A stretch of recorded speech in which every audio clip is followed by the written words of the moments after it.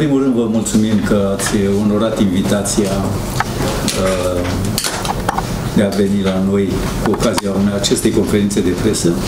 Vă propunem o conferință de presă destul de scurtă, care să cuprindă două uh, etape, aceea de a prezenta candidații uh, propriile puncte de vedere vis-a-vis -vis de ceea ce au găsit și ceea ce își propun în continuare să aducă în fața băcăoanilor ca problematici imediate de rezolvat pentru comunitatea băcăoană și în al doilea, în, al, în a doua parte să rămână o secțiune de întrebări pe care să le adresați candidaților.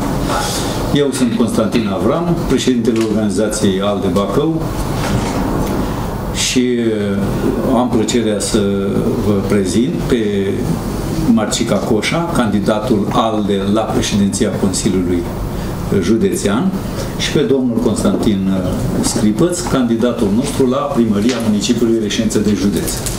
Uh, câteva cuvinte am să fac referire pentru ca și introducere. Vedem cu toții că deja au curs o jumătate din campania electorală.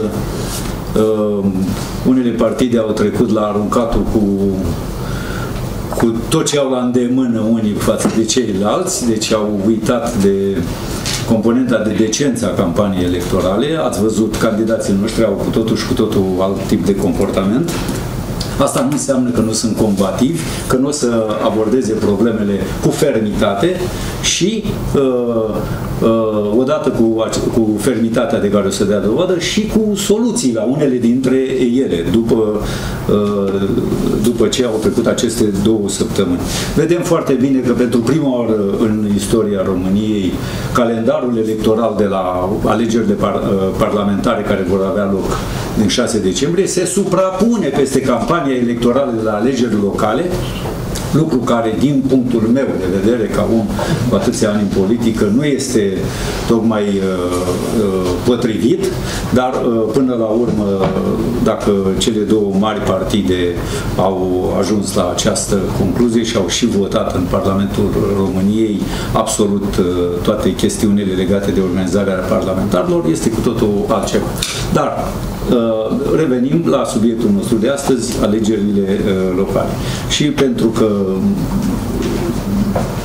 uh, avem în vedere a prezenta fiecare candidat, mai bine îi lăsăm pe dumnealor să-și prezinte să-și prezinte uh, punctele forte din program și să facă referiri la contextul politic în care se desfășoară aceste alegeri locale, pentru că sunt sigur că după cât uh, au uh, umblat, 100% au adunat uh, problematici diverse de la uh, băcăoanii care sunt uh, care s-au arătat interesați de uh, alegerile uh, locale pentru că la Consiliul Județean avem o candidat femeie, Ladies First, îi dăm cuvântul Marcicăi Coșa, candidatul ALDE la președinția Consiliului Județean. Doamnă, vă rog. Bună ziua, vă spun și eu, bine ați venit la conferința noastră de presă. Iată că am reușit în zilele care s-au scurs din campania electorală să acopăr cam 60% din uh, întregul județ. Aș putea să vă spun cu mâna pe suflet că nu trebuia organizate alegeri în această perioadă și spun un nu răspicat. Cred că toți politicienii ar fi trebuit să-și dea mâna pentru îmbunătățirea condițiilor uh, uh, de deschidere a anului școlar. Și aici vă spun că am discutat cu foarte mulți uh, părinți nemulțumiți care îmi spun clar, copiii nu pot sta în acele cuști de plexiglas, iar uh, copiii de școală 1-4 nici de cum nu pot rezista la școală cu masca foarte multe ore. Cred că prioritatea numărul 1 a noastră, a tuturor celor care fac politică, trebuiau să fie copiii și nici de cum alegerile. Ba mai mult, nici cele locale, nici cele parlamentare cred că a fost o decizie greșită. Din nou doresc să vă spun că este cea mai anostă campanie pe care am trăit-o în ultimii 20 de ani. Trebuie să te duci cu mască, nu te poți uita în ochii cetățeanului, nu îți poate vedea sinceritatea, nu poți purta un dialog, la un moment dat, ca și candidat, te simți pe fugă, te simți că trebuie să vorbești pe ascuns, te simți într-un fel vinovat că oprești un cetățean și, Doamne ferește, nu știi, poate tu, ca și candidat, poți fi purtător de COVID și să nu le expui pe el și familia lui. Lucruri uh, total atipice pentru noi toți. De asemenea, cu îngrijorare spun că am observat cum s-au cheltuit banii în județ în ultimii 30 de ani. Și aici pot să vă dau, așa cum am uh, spus la început, uh, că am mers în județ, câteva din exemplele mele. La Pâncești, Dita mai sala de sport făcută, nerecepționată niciodată, cheltuieli 6 miliarde vechi. Uh, mi se pare un jaf la banul public din banii noștri ai tuturor. De asemenea, sunt total nemulțumită și vă pot da foarte multe exemple, dar uh, o să fiu uh, foarte succint. Am fost la Stănișești, satul Slobozia Nouă. Nu poți respira de praf. Deci după ce a trecut o mașină, durează minim un sfert de oră să vedeți copiii cum sunt prăfuiți când merg la școală, din cap până în picioare de praf. Nu mai vorbim de celelalte condiții. Comuna de Alumore, sat Căuia. E adevărat, un sat mai micuț, dar sunt cetățenii județului Bacău, fără apă potabilă. Suntem în anul 2020. Eu rămân total surprinsă de acele mari și mărețe investiții care ne se prezintă tuturor s-au investit, s-au făcut. Unde, domnilor? Eu vă pot continua șirul localităților. De asemenea, oamenii spun foarte clar, Doamna Coșa, suntem în anul 2020, nu avem un dispensar în comună, nu avem un medic. Rămân uh, surprinsă că de la Bacău lucrurile se văd altfel sau ne sunt prezentate altfel. E adevărat, prin uh, activitatea mea ca prefect în ultimii ani, am fost lângă cetățenii județului mai mult la necazuri, la incendii, la inundații, la pesta porcină. Nu am intrat chiar în amănunt în fiecare sat. Am fost acolo unde a fost nevoie de mine.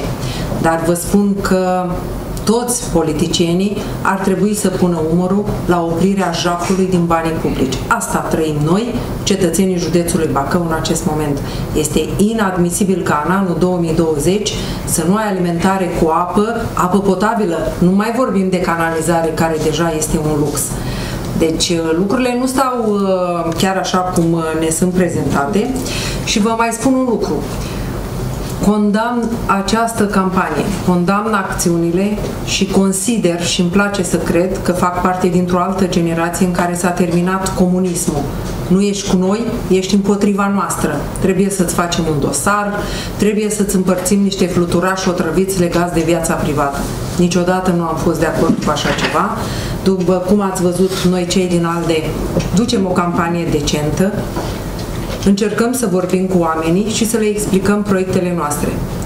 Nu am văzut niciun candidat să vină cu o idee în care să spună să ne vedem toți candidații la masă, să ne prezentăm proiectele până la toată urma pentru binele cetățenilor. Da, i-am văzut pe ceilalți contracandidații ai mei împărțindu-și funcții funcții dinainte de a ști dacă le obțin sau nu. El va fi vicepreședinte, uh, el va fi președinte, dar nimeni nu se gândește la cetățeanul de rând. Nu. Eu sunt persoana care spun stop împărțirii funcțiilor, stop jafului politic pe care îl trăim cu toți în viața de zi cu zi. Și sunt convinsă că fiecare dintre noi, cei care locuiesc în oraș, au părinți, au bunici sau nu ne uităm rădăcinile de unde am venit din mediul rural. De asemenea, tot plângeri am avut de la cetățeni vis-a-vis -vis de transportul local, care lasă de dorit. Nu vă spun, sunt comune întregi care încă se alimentează din fântâni, dar apa din fântâni nu este potabilă. Suntem în anul 2020. Eu le-aș explica celor din Consiliul Județean că ar trebui să fie upgradați pe problema cetățenilor din întreg județul, nu doar așa cum am văzut în multe localități, pe afară vopsit gardul și înăuntru leopardul. Nu. Am văzut doar promisiuni contra candidații de-ai mei, prezentându-și singur pe Facebook programul și atât de multe promisiuni încât, uh, iertat îmi fie, uh, Elveția și Germania sunt în urma României cu mult. Noi, uh, cetățenii din județul Bacău, așa cum uh, ne prezintă dumnealor și ne fac promisiuni, uh, ar trebui să fim în viziunea lor undeva pe altă planetă, din punctul meu de vedere. Consider că cetățenii văd minciuna, o simt și știu ce au trăit în ultimii 30 de ani în județul Bacău. Nu vreau să plictisesc, doar vreau să vă mai spun că programul meu de dezvoltare la Consiliul Județean, în primul rând, în primul rând, ar trebui realizat pe pol de dezvoltare locală, pentru că știm cu toții, banii de la Uniunea Europeană vin pe comunități, vin pe aglomerări de cetățeni, vin pe număr de populație. Este un lucru care se poate face, e adevărat, cu multă muncă, dar la fel de adevărat este că sunt date jos comisioanele în care eu cred și știu ce spun. Consider că a trecut vremea, dacă spui adevărul, te trezești cu o fițuică. Consider că a trecut vremea dosariadelor și vremea, dacă nu ești cu noi, ești împotriva noastră. Cred că cu toții trebuie să punem cetățeanul județului Bacău pe primul loc și apoi uh, interesul personal. Nu știu dacă dumneavoastră aveți întrebări, eu am spus clar, voi milita din cadrul Consiliului Județean pentru alimentările cu apă, cel puțin apă potabilă, eu cred că în patru ani se poate face în toate localitățile, măcar să poți bea cu apă sănătoasă. De asemenea, alimentările cu gaz, pentru că consider că din nou suntem în anul 2020, sunt localități unde trece conducta de gaz la maxim 500 de metri, dar ele, comune întregi, nu sunt alimentate cu gaz. Preferăm să mergem, să tăiem pădurea și să trăim în praf, să ne prezentăm ca și candidați în fața cetățeanului, vai ce am făcut. Nu, nu s-a făcut nimic. Mulțumesc frumos, vă mulțumesc. Uh, am să vă propun uh, ceea ce am spus și la început, să, întâi să ascultăm candidații și după aceea să facem uh, uh, sesiunea de întrebări adresate dumneavoastră. Uh, pentru că, mă rog, municipiul Bacău este cel mai mare bazin de vot al, uh, al județului Bacău vă dați seama că și problematicile legate de viața în, în municipiu este destul, este destul de stufoasă, ca să zic așa. Problemele oamenilor sunt pe zi ce trece din ce în ce mai, mai uh, stringente și aici uh, îl rog pe domnul Constantin Scripăs, candidatul nostru de primar la primăria municipiului Bacău, să facă referire la uh, acest tip de problematici, la viața de cartiere, la absolut tot ceea ce dânsul uh, crede că uh, mai trebuia făcut uh, sau trebuie făcut de acum uh, încolo. Vă rog, domnul... Mulțumesc, domnule președinte. Salut prezența presei. Mulțumesc că ați venit din punctul meu de vedere în număr mare. Asta ne încurajează și denotă că mai avem ceva de spus în administrația publică bacăuană. Sunt candidatul ALDE la primăria Bacău, un ALDE care există, chiar dacă mulți s-au înfructat din candidați, din primari, din cei cu care reprezentau elita partidului mai un an în urmă. Eu sunt, cred că, singurul traseist politic care m-a maciuat la ALDE. Am găsit ușa deschisă. Sunt mândru că am fost acceptat de echipă. Nu mă consider un traseist chiar de ultimă speță, deoarece politica în Bacău am început-o prin 96 cu purul. Purul repre reprezentând cumva strămoșul ALDE. Purul a suferit niște modificări, transformări, fuziuni, fuziuni alianțe și asta a devenit ALDE. Ce am găsit eu la ALDE acum două săptămâni când am venit? O echipă destul de sănătoasă și puternică. O echipă și astăzi suntem o echipă când foști, doi foști prefecți al județului Bacău, încercăm să convingem populația să cucerim primăria și Consiliul Județean. Poate din anumite puncte de vedere și din uh, procentele pe care le are astăzi ALDE, e mai greu dar avem această țintă. Ne-am format niște echipe Vă rog să permiteți să vorbesc un pic și de echipa mea de la municipiu. În primul rând, echipa de candidați, de consilieri. Suntem cetățenii ai municipiului Bacău, care în totalitate stăm la bloc. Consider că prin asta a se înțelege că suntem oameni normali, oameni care au lucrat cinstit, nu că detest pe cei care au vilă sau au avere. Am fost în general în sectorul bugetar, dar avem și exemple de succes în afaceri, avem economiști, avem ingineri, avem de potrivă și domni și doamne, mai tineri și mai puțin tineri. Plecăm în această bătălie. Eu vizez primăria Bacău. La mine vine un pic mai greu să explic ce voi face, deci n-am voie să spun ce voi face înainte de a spune ce am făcut. Sunt viceprimarul municipiului Bacău în funcție. Și aici este mai greu. Eu am făcut anumite critici, ați văzut anumite intervenții și uh, pe pagina de Facebook și în emisiunile televizate cu acordul, cu ajutorul dumneavoastră. Voi continua. Eu mi-am uh, construit un program electoral, zic eu realist, care pleacă de la Băcăoani pentru Băcăoani. Nici nu l-am încheiat, zilnic aproape, cu câte o idee care să o atașez în programul electoral. Chiar în ultima, în ultima ieșire, din discuțiile cu un cetățean care spunea, domnule, bine, m-a mai lăudat, m-a mai periat, m-a mai lovit, dar nu asta e problema. Uh, de ce nu constituiți o echipă de voluntari să supervizeze calitatea serviciilor publice în Bacău? Păi da, zic, în ziua de astăzi toți plecăm de acasă după bani, ce voluntari vin? Noi avem oameni de bună credință, în zona asociațiilor, în uh, mediul de afaceri. Și chiar m-am gândit și am un punct acolo, constituirea de voluntari pentru supervizarea serviciilor publice.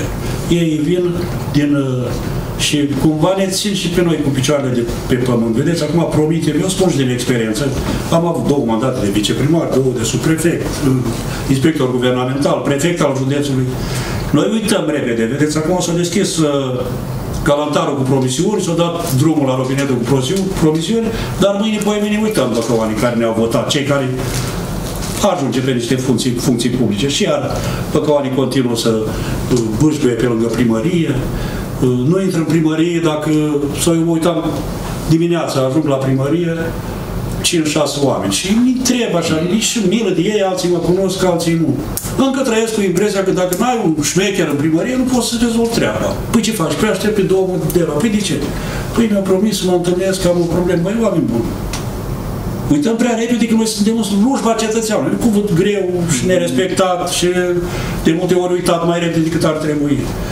Asta mă uitam. Eu doresc, după cum mi-am făcut programul, eu zic că e demn de un program de un viitor primar. Doar mai lipsesc voturile. Dar inima, chiar dacă am o vârstă, chiar dacă sunt contestat, am uh, încă o experiență și în loc să văd de nepoți, să-i plimb prin parc, să, prin, să, văd, să am alte preocupări, chiar nu pot sta acasă. Chiar mă interesează Bacău. Bacău. Aici sunt crescut, nu sunt născut aici, sunt pe niște dealuri din Comuna Secuieni, dar mă mândresc cu localitatea natală, nu prea mă mândresc că scot cu Ionel Palar.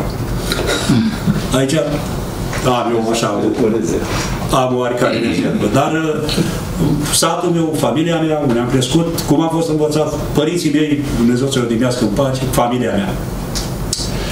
Ce se întâmplă? Aș vrea să uităm, am făcut niște declarații care spunea cineva că a produs și furori, un mandat ratat. Nu vreau să mai vorbesc ce a fost.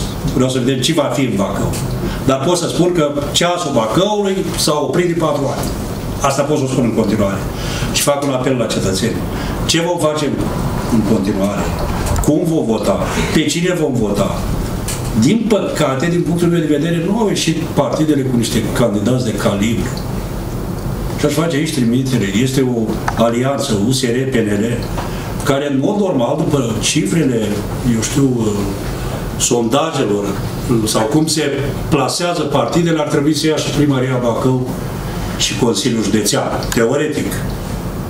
Dar când văd candidatul acestei alianțe că ies cu niște promisiuni gen va face tren din gară la orizont. Băi, oameni buni, tren din gară la orizont. Eu îmi doresc la Dumnezeu să trăiesc, să merg eu cu trenul de la gară la orizont.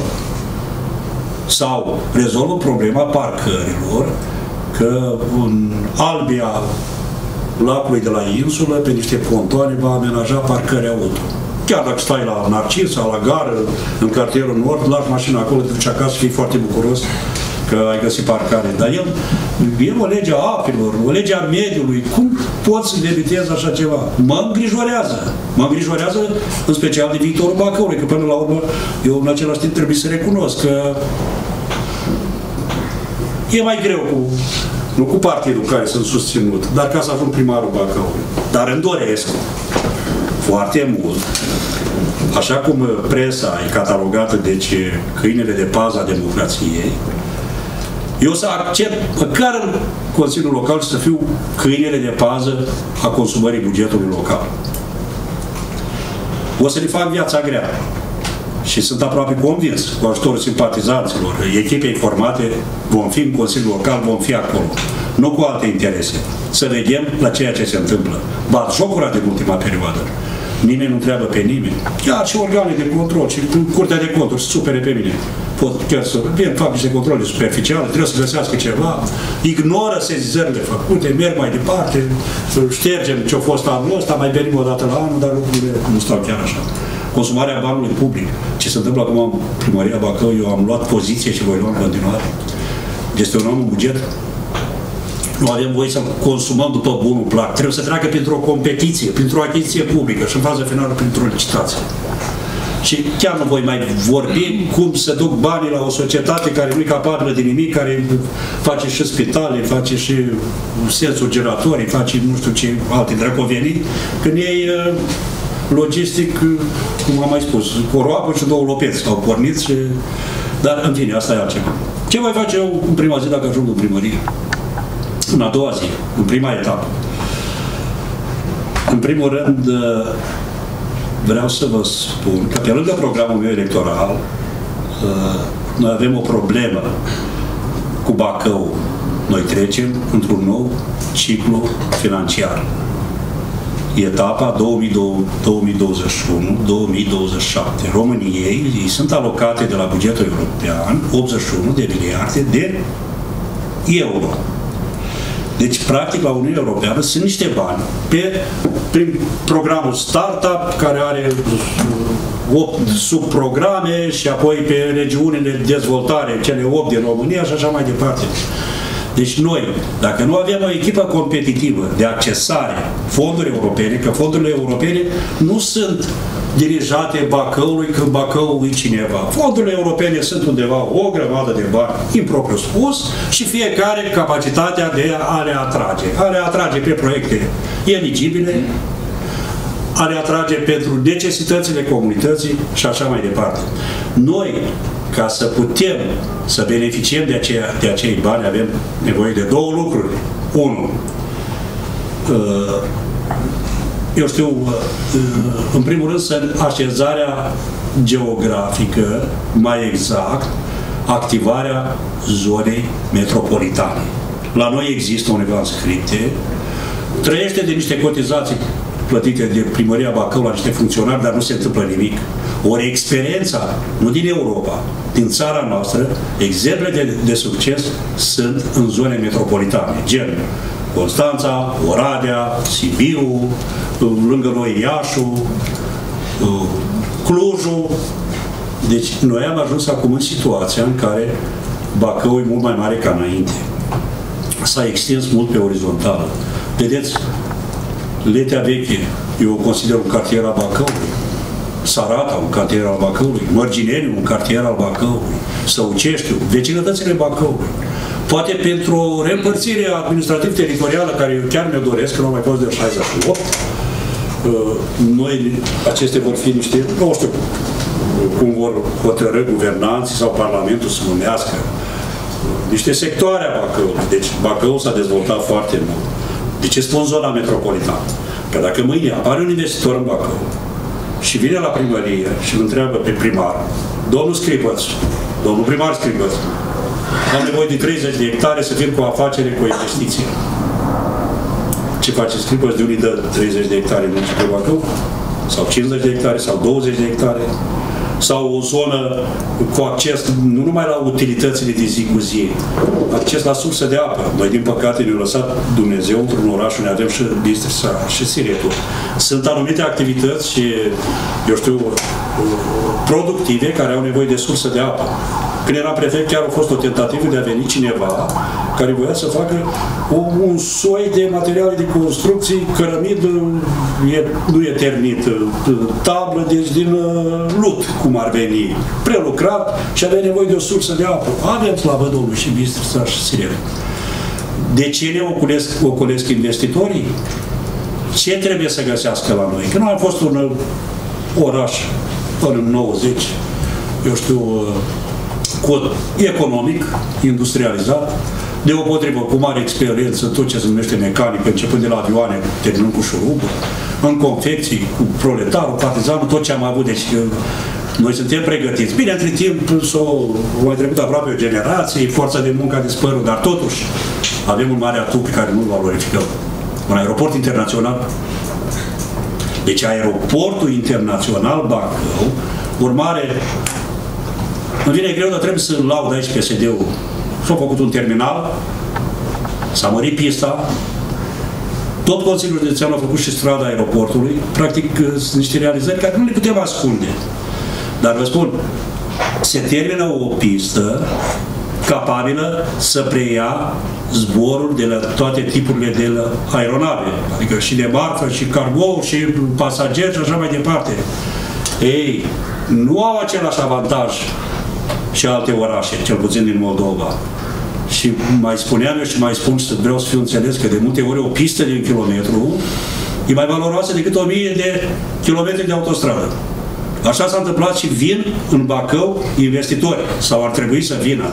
Și eu am un soi de, nu de răutate, dar de mânie în mine. Cum să accept eu, Bacăuan, să vin în Bacău, să urce în mașină și să ducă cu investiția în Piatra Neamț sau Roma?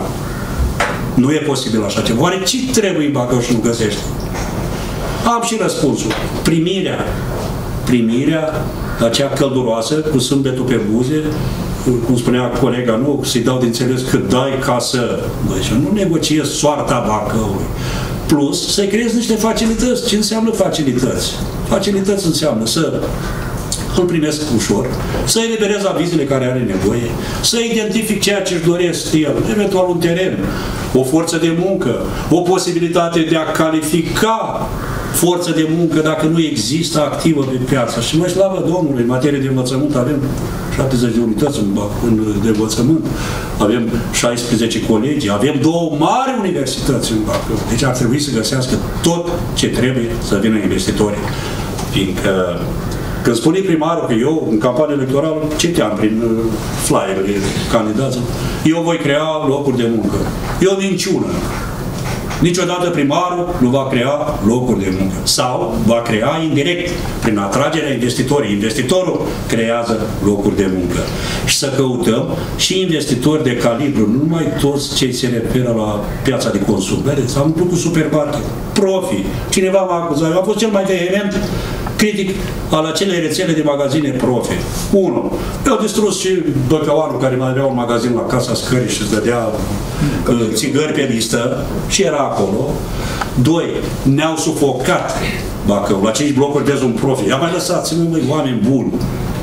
Oare noi nu mai avem nevoie de ale noastre, nu mai avem nimic, chiar de profi, profi, profi, au intrat în Bacău, știu de ce, dar nu mai dezvolt. Nu mai spun ce ilegalități au făcut unde au ocupat profi. Pentru că unii s-au dus la bloc, prin rețeaua frig așezată pe domeniul public, rețeaua frig așezată sub geamul vecinului, prin uh, acele investiții minore a lor, au blocat apometre, locuri de joacă, parcări și așa mai departe. Inițial, când au venit acea rețea de magazine profi în Bacău, erau alte condiții. Să-și uh, spațiul pentru luarea avizelor, trebuiau să aibă niște parcări separate, un program de aprovizionare, un program de lucru uh, care, în general, ele funcționează prin scara blocurilor. Se suprapune accesul în scară cu un tir care vine, să descarci și trebuie să-l suport și așa mai departe. Dar nu asta e problema.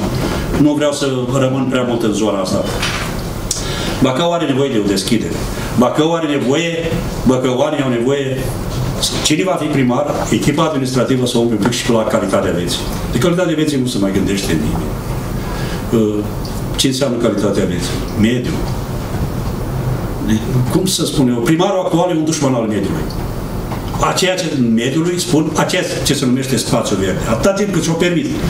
Să ducă 37 de, să dea aprobare la 37 de societăți comerciale cu niște tonete, tarabii, chioșcuri în parcul, în parcul, în parcul Cancicov, care trebuie să aibă alt statut.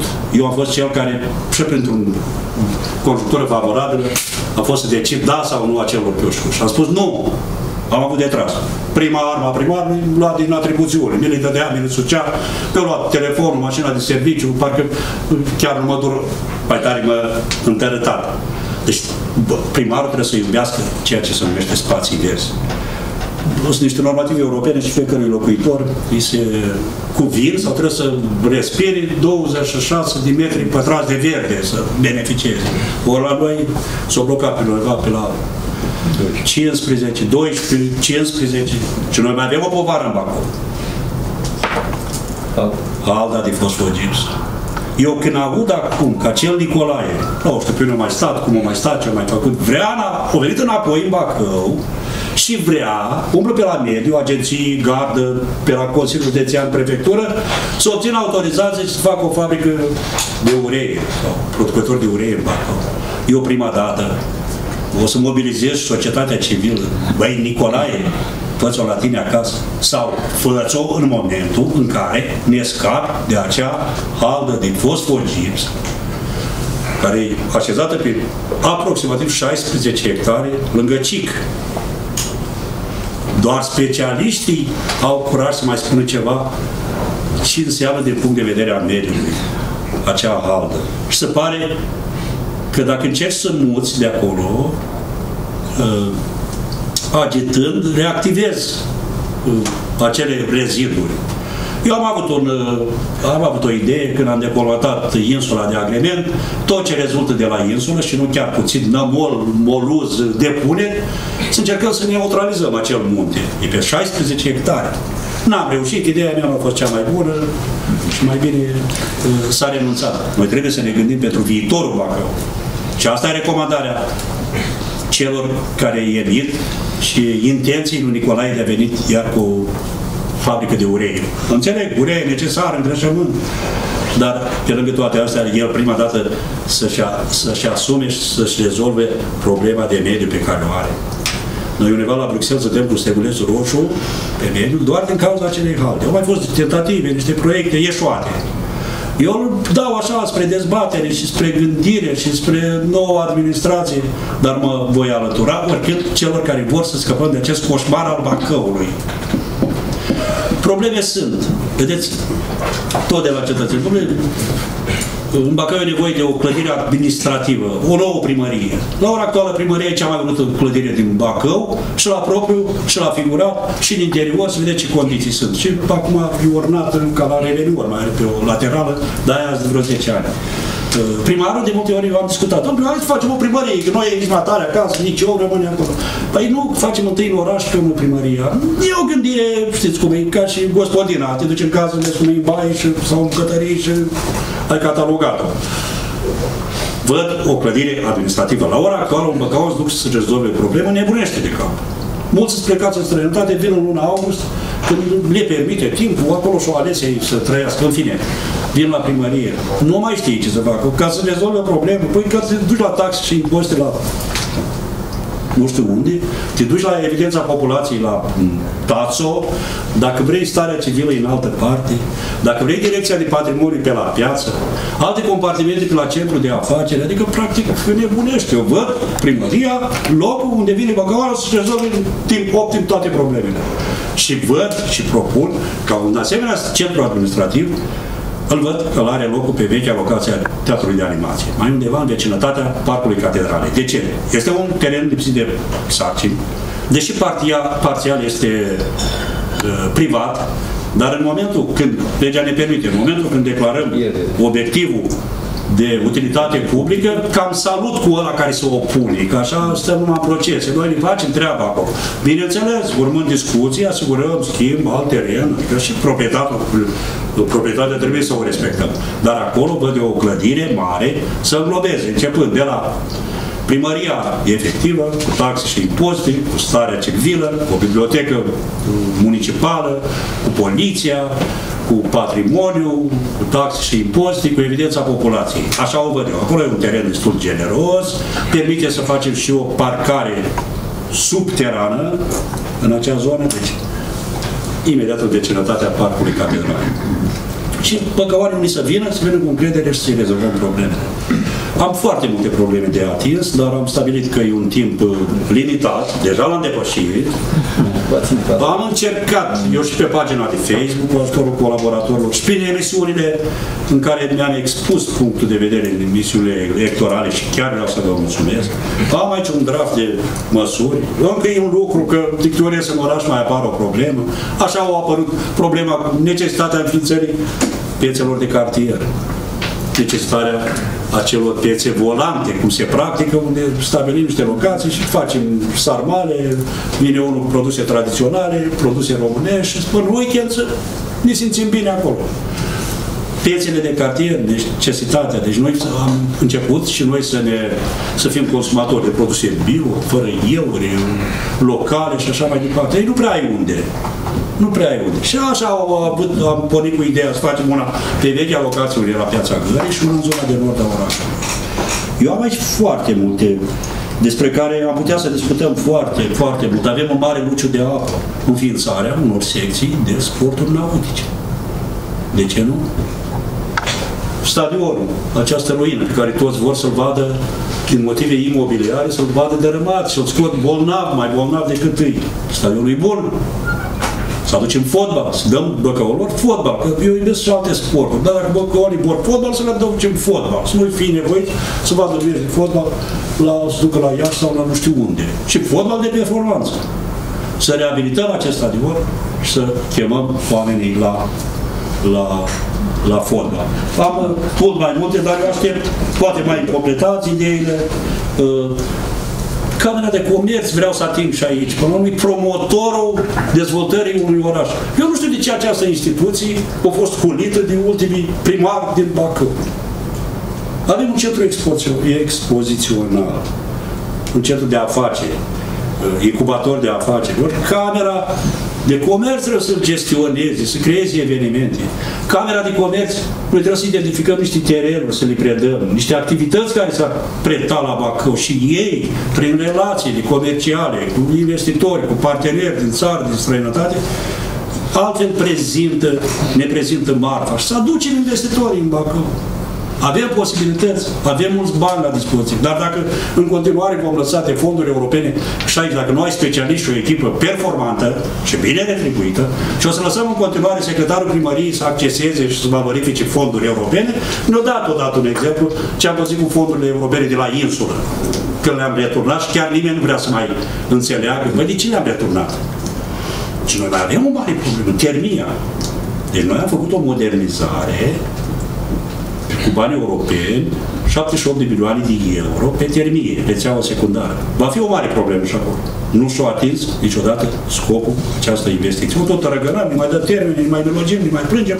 Între timp niște oameni au niște bani pe fonduri europene de acolo, toate bune să le scoatem. Dar va fi o problemă sau poate nu va fi. Apa în Bacău. Vorbim de calitatea vieții, pe calitatea vieții și nu știu când dintr-un duș dacă reușesc să fac dușul sau nu. Nu are nimeni curajul să ne spună dacă Bacău e apa potabilă sau nu. Oameni buni, noi am avut o avarie mică. Nu se mai spun nimic în rezerva de apă. Aș fi vrut să văd în programul uh, primarului și să mai turezi, fiindcă uh, lucrarea e foarte necesară pentru Bacău. De fapt, ce rezerva de apă, din două cuvinte, niște izvoare la ghereje existente, aducțiunea magistrală care vine de la Valea Uzului și-o creat atâtea probleme, undeva pompăm apa și o ducem la barațul de stația și stația de tratare și prin cădere liberă vine în municipiu. În ultima perioadă, de la tentativa aia de Micavani, semnalul a fost foarte clar. O frață mea reduceți presiunea ca să trecem de campanie. Pe noi ne va paște, în scurt timp, o avare pe rețeaua de apă. Vă spune scripăți cu toată responsabilitatea. Noi acum mergem cu presiuni reduse, nu ajunge la etajul 3, la 4 sau dacă ajunge, ajunge rar și dăm de seama că vai de mine consumă ăla cu datul, cu spălatul, cu nu. Presiunea în Bacău nu este, nu este cea normală, ca să ajungă până la etajul 10, motivat de faptul că undeva scârție ceva și ne așteptăm la o avare. Trebuie să o primim cu pieptul deschis, ăștia suntem, să fim uh, corecți, să nu mințim băcăoanii și să uh, intensificăm toate eforturile să ne facem rezerva de apă. Foarte important să nu mințim Băcăoani. Încheiem să nu mințim Băcăoani. Iar mesajul meu, mințim Băcăoani. și prin dumneavoastră, că până la urmă sunteți între, între noi și cetățenii Bacăului, ca un mesaj electoral, Băcăoanii să vină la vot. Domnule, Băcăoanii să vină la vot. Știm, campania electorală atipică, pandemie, îi lehanete față de clasa politică, dar să nu lăsăm pe soarta altora, să ne chinuim cu toate riscurile și să fim acolo și să votăm în cunoștință de cauză, să votăm niște candidați care să avem încredere în ei.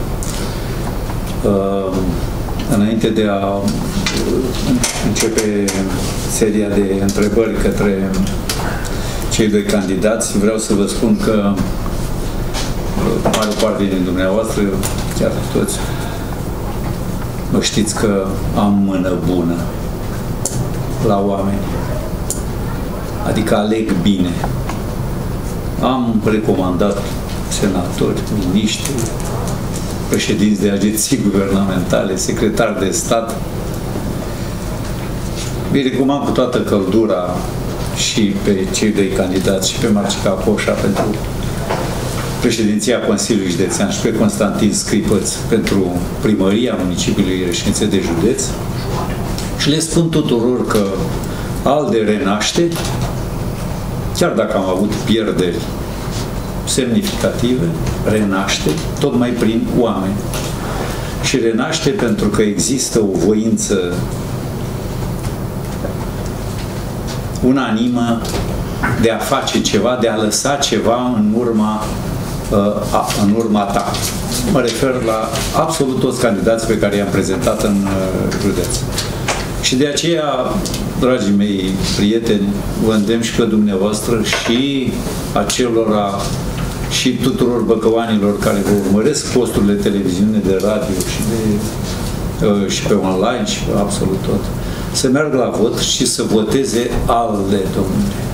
Să voteze ALDE, că vor vota pentru stabilitate, pentru experiență, pentru că cei doi au experiență administrativă când n-au toți la un loc ceilalți candidați de școală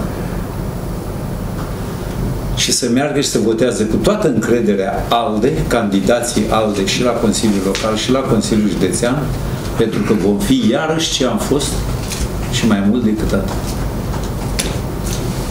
Sesiunea de întrebări. Candidații.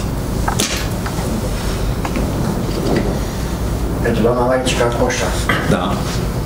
Vă rugăm să avem rugămintea să pomeniți și organul de, organul de presă. Gabriel da. Pălani, TV. Doamna, aveți o concurență redutabilă. Și nu știu cum se face că am de 30 de ani noi suntem luați prin surprindere întotdeauna. Ne-am luat prin surprindere uh, diverse fenomene care ele oricum urmau să vină. Iarna, de exemplu, totdeauna vine surprinzător de repede. Pandemia asta, care a început să ne lovească din februarie, a testat anul școlar în martie, suficient timp ca autoritățile să-și dea seama că după, în general, în general după luna august vine septembrie și cam peste toată lumea ce pe școală. Dar iarăși a uitat. Oana noastră, ca viitor președinte de Consiliul Județean, dacă Băcăvani din județ vă vor da Ciro, eu zic că aveți o altă problemă. În afară de faptul că trebuie să lucrați pe undeva să eliminați tendința asta, să uităm că vine iarna, că începe școala, că vine vara, că... În fine, uh, a început școala. În mediul, în mediul urban, hai că este cum mai este. Bâlbâieri, măsuri de alea de uh, nu lăsăm părinții în curtea școlii, străzi blocate, pe Vasile Alexandria era un haos generalizat, uh, și că protejăm copiii, dar ei când iese din curtea școlii intră în mare aglomerație urbană. Ei, dar mediul rural trebuie le stau altfel. Acolo nu avem nici wc de tablete, alea sunt... De internet, nu mai vorbim. Așa, ei. Acum, pe fondul acesta al neglijenței autorităților care în permanență uită de satul românesc, vine și efectul cel mai nedorit al României, abandonul școlar. Calitate de președinte al Consiliului Județean, calitate de femeie, de fost prefect. Aveți în programul noastră, gândiți niște plăi din care să reduceți, că nu puteți să eliminați abandonul școlar în mediul rural?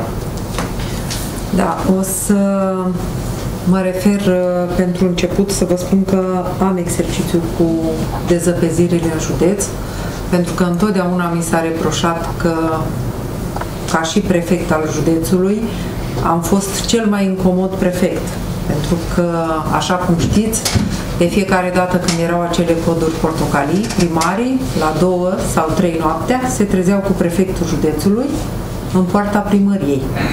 Sunt primari din județul Bacău care erau sunați de mine personal. Deci, cu dezăpezirile, știți foarte bine, mare parte dintre dumneavoastră ne întâlneam uh, pe traseu uh, în cursul nopții la dezăpeziri. E adevărat că dezăpezirea este o prioritate. Este o prioritate nu neapărat pentru transportul nostru, ci pentru faptul că, Doamne ferește, o salvare sau de un incendiu, nu se poate ajunge la uh, rezolvarea problemei. 2.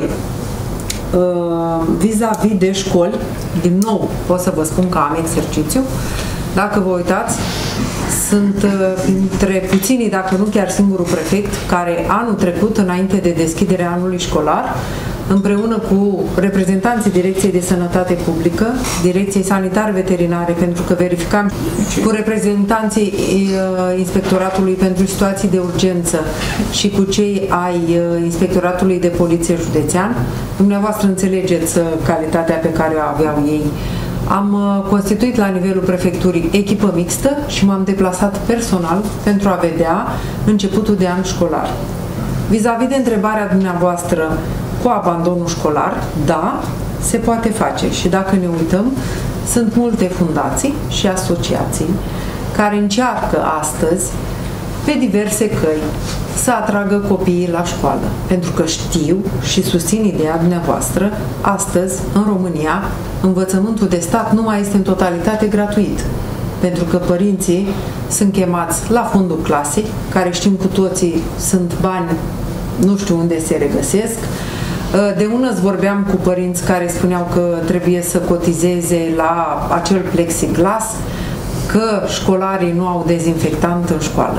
Și da, se poate face prin asociații, prin fundații, printr-un parteneriat între Consiliul Județean și respectivele asociații și fundații pentru a uh, elimina sau măcar într-o mică măsură uh, ideea de abandon școlar. De asemenea, eu sunt o susținătoare, fiind și femeie, sunt o susținătoare a mămicilor care lucrează. Știm cu toți. Programul se termină la școală, dacă vreți luăm, 8-12 maxim. De la 12 până când termină mămica lucru, copilul nu are unde sta. Sunt o susținătoare a acelor after school împreună cu inspectoratul școlar, împreună cu primăriile din comună, se pot face uh, gen after school-uri pentru ca elevii să stea în siguranță până când vin părinții de la serviciu. Concluzionând, uh, veți face din acest obiectiv un punct prioritar în cazul când noastră veți... Uh, Absolut. Da. Absolut. Da, vreau să vin doar un ajutor cu o completare referitor de abandonul școlar nu știu, parcă în script era pe undeva pe la 18%, dar noi nu recunoaștem. În mediul rural e mult mai mare. Și să vin cu un exemplu. Când eram prefect într-o deplasare la Găiceana, chiar comuna Găiceana, într-un sat, nu-i dau numele, m-a băgat și eu în seamă, zicem, școala, cum, ce e acolo? Și o doamnă învățătoare spune ceva, zic, domnul prefect, dacă aveți puterea și tăria, era programul Laptele și Cornul. Să, ei erau obligați ca la ora 10 să dea acel lapte și corn. Și nu mai dăm la 10, să dăm la 12. Dom'le, dar cum motivați?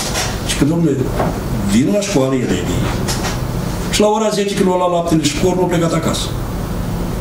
Deci vin doar pentru laptele și cornul. Și poate am mai ținut în viață absenteismul și, abandon. și abandonul școlar. Că la țară ce povestim noi aici le-am dat tablete, dar puțin știu că sunt pentru localități care nu au curent electric. Bun, hai că cu acumulatori, cu dar sunt care nu au semnal. Noi ne amăgim. Mi-e frică să scoatem niște realități. Mergeți, vă rog frumos, în, mai departe în Buruiești, să vedeți cam cum pot trăi niște oameni. Și noi de ce vorbim? 2020, Europa? Asta ne păcălim, nu vrem să ne recunoaștem realitățile. Că wc în curte, că ce să mai... Bine, în ultima perioadă, românii care au plecat în străinătate n-au stat acolo nici la furat, nici la chiorhane. Au făcut niște bani, au venit acasă și au construit satul românesc care o dezvoltare nemaipomenită. Urbanistică. Vedeți, urbanistică, vedeți, uh, chiar prin sate. Nicolae Bălcescu, la Revoluție erau 4 km până la Cluj, acum aproape sunite. Oamenii se duc muncesc și o să observați un fenomen. Anul ăsta face, o face casa la roșu, mai vine la vara viitoare, pune termopane, mai vine peste 2 ani, nu știu ce face. Deci românul e român și muncitor, să mă refer și la Băcăoani. Dar uh, nu trebuie să ascundem că abandonul îi și ridicat datorită calității vieții. Nu mai spun, plecările disperate în străinătate, pleacă mama, pleacă tata, lasă copilul singur acasă, cu bunica, cu mătușa, copil care are nevoie de educație, de 200 de euro care îi trimite lunar. Și te pomenești cu prostituții, droguri, abandon școlar și așa mai departe. Gata, tac. Alte. Cine mai e? Hai, puneți-mi și mie o întrebare. Marian Țărăduiți. Ați adus în discuție lanțurile de magazine profi. Și eu sunt unul din cei care suportă acest lanț de magazine. Încă suport. Dumneavoastră, dacă ați ajunge mâine primar, aveți puterea să rezolvați această problemă, pentru că din ce a spus dumneavoastră, este o mafie mare în spatele acestui lanț. Dumneavoastră ați spus mafie. A reieșit din... O reieșit din discuție. Îmi asum și eu. Știți ce se întâmplă acum? Odată ce ai dat autorizații, omul a venit aparent legal și a creat o investiție, are desfințai mai greu, dar pune niște condiții. Noi avem un compartiment care se numește Poliția Locală. O, o, sunt niște oameni plătiți degeaba, vă spun eu. Și am avut o problemă cu un uh, profi și tot veneau oameni și reclamau la mine, domnule, nu mai pot trăi când vine tirul, discarcă că din păcate astea se adresează cartierilor și blocurilor. Și ce am făcut și eu atunci? Bă, dar voi și voi ce ați făcut polițiștilor? Păi ne-am dus acolo și am tras o amendă și ce măsuri ați luat? Păi se deschide la ora 9. Bă, foarte bine eu măsură. Omul să pleacă, pleacă la servici, copilul se duce la școală, de la 9 să mai zdrângănească pe acolo. Și nu durează decât o săptămână și vine un om și îmi spune, vine cu un mai mare argument decât atât, cu un bon. Că eu l-am, dar nu de la profi. Și întâmplător l-am. Și spune, și mă uit acolo, da, o cumpărat, nu știu, cumpărat el matinal, 8,35. Deci mai mare dovadă decât că magazinul nu respecta nici pe departe ce a spus noi și poliția, n-a fost. Acum are desfința, e greu de spus, dar în Bacău cred că sunt mai mult de 40. Nu toate sunt pe în blocuri, sunt și pe blocuri private, s-au preluat niște spații de la alte instituții, mai nou ni servește mega imaj, tot cam pe aceeași filieră, niște magazine care ne fac sau nu ne fac plăcere să acolo. Nu știu dacă pot să le desfințez. Nu le desfințat, dar măcar limitat cumva activitatea și extinderea acestora. Asta se poate face. În rest, nu ai pârghii administrative, el e legal constituit, i-am dat autorizații, ne-am făcut că am îndeplinit niște condiții, în spate stau niște interese mari, că de fapt ce să ne mai promovăm și piața noastră și Bureiana una bătrâni și un lapte de vacă crescută pe islas, mai bine devin niște în rețeaua profi. Dar, deci răspunsul nu m-aș putea angaja ca să vă spun astăzi că le voi putea desfința. Nu desfința, dar să respecte legea. Să respecte legea, să ia niște măsuri, să aibă un program de aprovizionare, să nu aibă ce căuta spre aprovizionare cu mașini mai mari de 3,5 tone, așa cum a luat autorizația. Și, în primul rând, să respecte programul și când le dai următoarele, e un pic la întrebări, pe aici stau locatarii, trebuie un circuit sanitar, trebuie viză de la ISU, trebuie viză de la Direcția Sanitară. Asta, adică, astea sunt opțiuni, de când vorbim noi aici, erau toate.